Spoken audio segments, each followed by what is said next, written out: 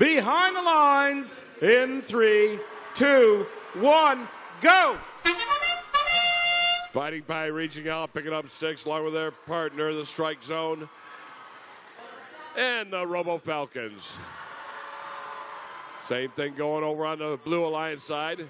They stuck it there, Robo Falcons, and the CC Shamrocks cash in 12 points. Got a one point game advantage, Blue.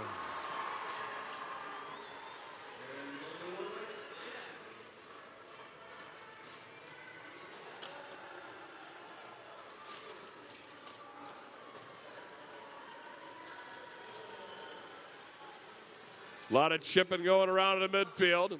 Meanwhile, grabbing some of that low hanging fruit. That's the Frog Force making their way back with another cube. Taking aim up on the top shelf. shooting Five points there. Robo Falcons on their way back along with their partner, 54 60. The strike zone out of Lapeer. CC's back in the loading zone, has a cone, tucks it inside their machine, and all the way off to the races again.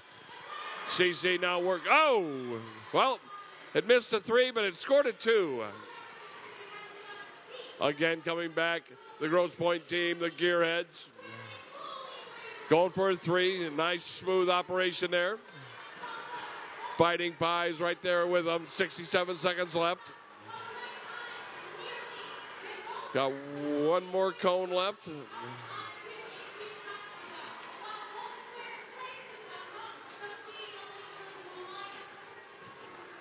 Strike zone out of Lapeer. They just filled up all the nodes. Got five links red, uh, four blue.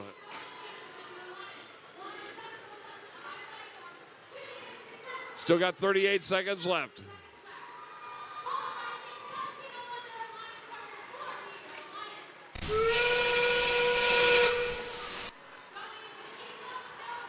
Trying to fill it all up.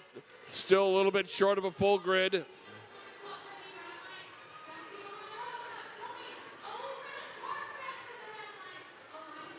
Nice quick score. Got 13 seconds left. Who's going to be it? Looks like the Blue Alliance is going for it. Trying to make that three. And the red. Got two seconds. One. And at the bottom, they both did it. Triple. A double. It's the Red Alliance. The Red Alliance. 182 to 165. And no penalties.